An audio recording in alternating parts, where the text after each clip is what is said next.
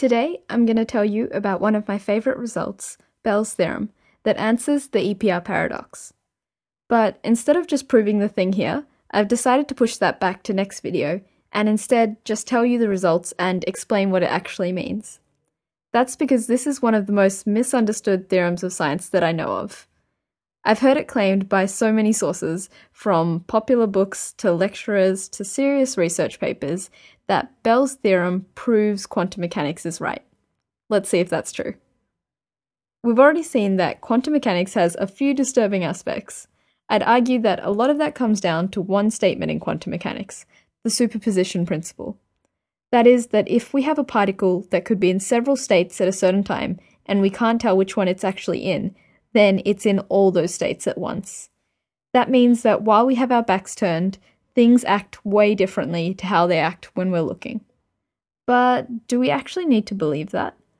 I mean, we can never, by definition, actually catch the objects in the act. The EPR paradox tried to prove that superposition is wrong.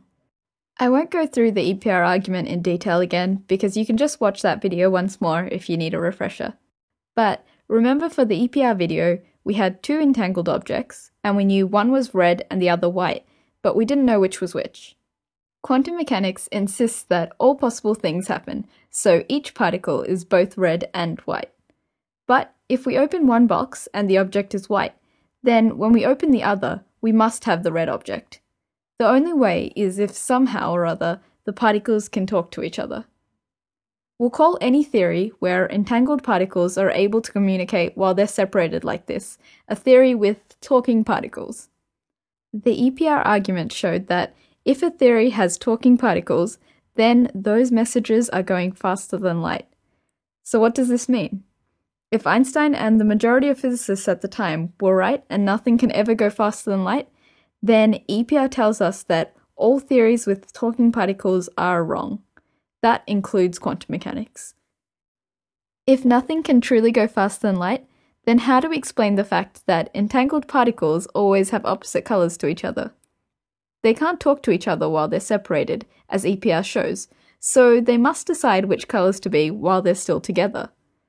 That means that instead of acting all crazy and going into superpositions while they're behind our backs, they instead act pretty normal with just one colour. So you see, if nothing can go faster than the speed of light, not only is quantum mechanics done for, we can go back to believing that the world isn't doing crazy things while we're not looking. I.e., if particles can't talk faster than light, then superposition is wrong. What about the other possibility? What if entangled particles do talk faster than light to each other?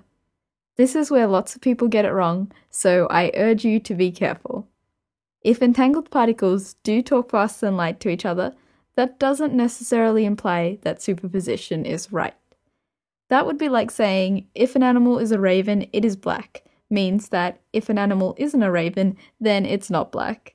That clearly isn't true. If an animal isn't a raven, all you can say is that it's not a raven. You can't infer anything about its colour.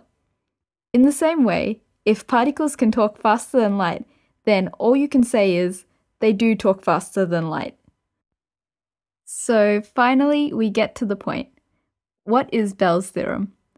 Bell came up with an experiment that would give different results in a world where particles can talk faster than light and in one where they couldn't. This got people really excited because this was a chance to disprove quantum mechanics. Fifteen years later, people finally came up with the technology to do the experiment. Their result? Particles do actually talk faster than light. Quantum mechanics survived. But, like I said before, this doesn't prove that quantum mechanics is right, only that it isn't wrong in this particular way. This brings up a lot of questions. Firstly, what about relativity?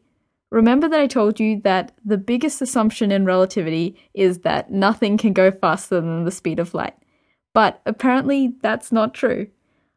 I don't know enough relativity to teach it to you, but in relativity, if it's possible for Alice to send Bob a message faster than light, then all kinds of crazy stuff can happen. For example, to some people, it will look like Bob gets Alice's message before she sends it. It's even possible for him to reply before she sends it. But then, what if she decides not to send her original message after all? This is an awful logical mess. So, what's the solution? Physicists say that they have come up with it. They claim that it's impossible to manipulate our entangled talking particles to send the messages we want. This is called the no communication theorem. I don't know if we should just trust them though, so we'll have a closer look at it a little later. Another question is that, sure, this experiment doesn't prove that superposition is true, but is it really possible to explain all the weird experiments we've been talking about without it? Turns out it might be. There is at least one very promising alternative to quantum mechanics that does have talking particles, so it's not ruled out, but doesn't have superposition. It's called Bohmian mechanics, and I might make a video about it because it's pretty amazing. So that's the end of this video, but if you want to see how Bell's theorem proves that particles can talk faster than light, then I will be putting up videos about that very soon, hopefully. There'll be one to explain something called spin, and then the actual proof itself. If you don't know too much about spin, you should probably watch that one first.